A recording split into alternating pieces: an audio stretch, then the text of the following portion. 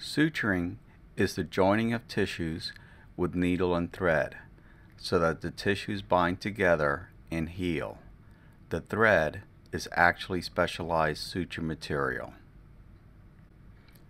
In this first video, you will be introduced to the instruments typically used to suture a wound and how to use these instruments correctly.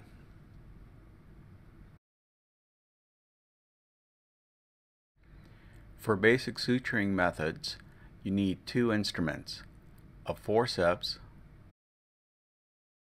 and a needle holder, and of course, a pair of scissors, although it is not shown in the video.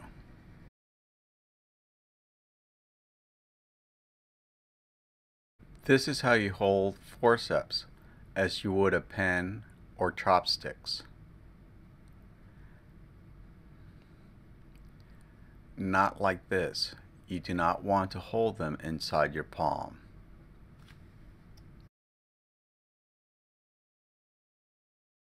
Let's look now at how to correctly hold the needle holder. Place your thumb and the ring finger in the holes of the needle driver as shown. Use your middle finger and index finger to stabilize the driver. Do not hold the needle driver like this with your thumb and the index finger in the holes. Further, even when you have the right fingers in position, pay attention that you keep the needle holder close to the tips of your fingers. Do not push the needle driver close to your palms. And now we see the right position for both hands. Finally, scissors are held exactly as you would hold the needle holders.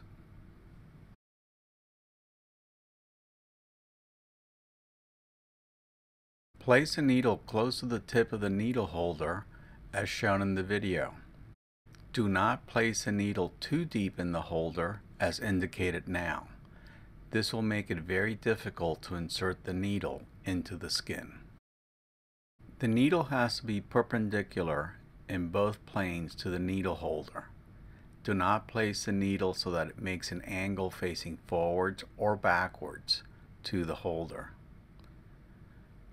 Do not place a needle tilted forwards or backwards either. Practice so you always place the needle perpendicular to the long axis of the holder.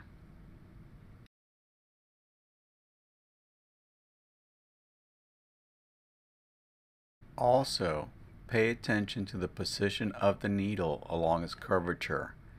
The needle driver should be placed one half to two thirds of the length of the needle from its tip.